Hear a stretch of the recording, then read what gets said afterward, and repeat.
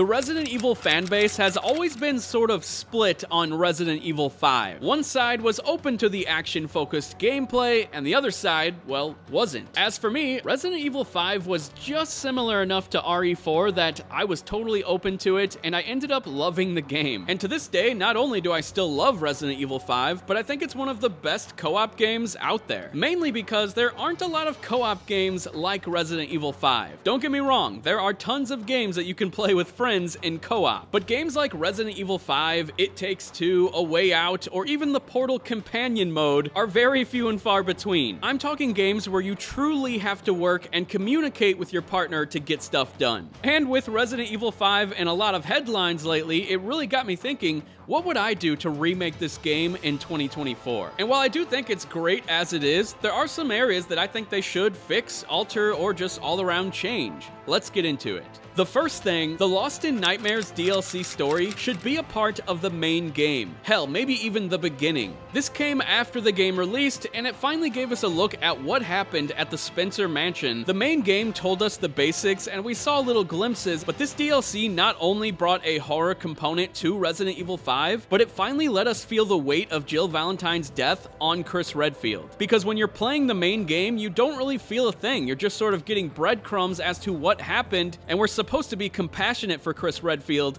but I never really was until this DLC. I feel like this is an area that could totally be more fleshed out and would make late game reveals way more impactful. The next thing on the list is a pretty obvious one, modernized controls and graphics. Resident Evil 5's gameplay still holds up pretty good to this day. However, one thing that a lot of people cannot get past is the fact that you cannot move while aiming. Now, I'll be honest, this is one thing that I really don't mind when playing Resident Evil 4 and 5. I think it just adds to the tension of the combat. But a remake obviously needs to be modernized, so I think a slow walk while aiming should suffice. Hell, Resident Evil 4 Remake introduced a parry mechanic, which I think would have made more sense to bring over in Resident Evil 5 since it's more action heavy. So with that being said, bring over that parry mechanic in RE5 Remake. As for the graphics, Resident Evil 5 surprisingly still looks great, but you know Capcom is gonna go all out and give us something that's absolutely mind-blowing like Resident Evil 4, like Resident Evil 8, but as for the character models, I think this Chris does need to be beefed up a little bit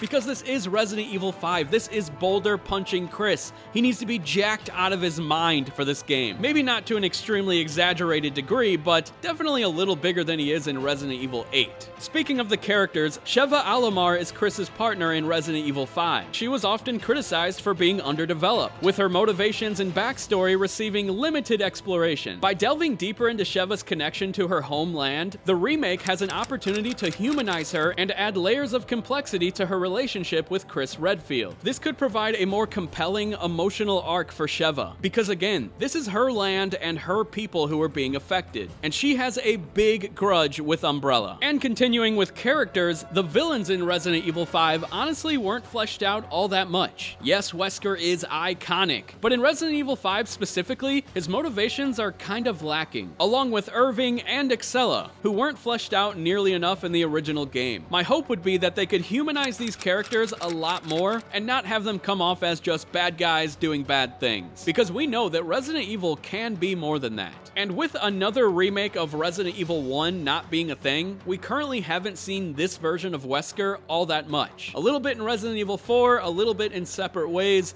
and that was pretty much it. So my hope is that in Resident Evil 5, they treat Wesker as a villain pretty much starting from scratch and not assume that players know a bunch about him. Because let's be honest, the remake series is for a brand new audience of Resident Evil fans, not for the old people like me. Now, like I said at the start, I love Resident Evil 5, so when it comes to the bosses, the combat scenarios, the puzzles, in my mind, don't really change all that much. Lean into what was great and make it even better. I do think a few of the boss fights need to be tweaked maybe a little bit, like El Gigante whenever you're on the Gatling gun and you're completely stationary. I think they should probably change that. And with this being a co-op game, I think it would make a ton of sense for one of the players to be driving the truck around, dodging attacks, while the other is firing away on the Gatling gun. I can just picture it and it's beautiful. And the final thing I wanted to talk about that I think a lot of classic Resident Evil fans would truly appreciate is if they brought some type of horror component into Resident Evil 5. Because in the original, it really wasn't scary pretty much at any point in the game. Don't get me wrong, the combat was intense, the enemies were scary, but the general environments and overall vibe of the game, there's rarely any horror in the game. But with this remake, they could really change that. One more thing before I go, because I'm a big fan of this game, is I really hope they don't change any of the upgrading with the guns. Resident Evil 4 and 5 were so replayable because you could constantly max out your guns to a crazy degree where you could just just blast past enemies, and it just got more and more fun with each round of the game. I really hope they don't change that. I don't think they will, because Resident Evil 8 and 4 were both really awesome with replayability, so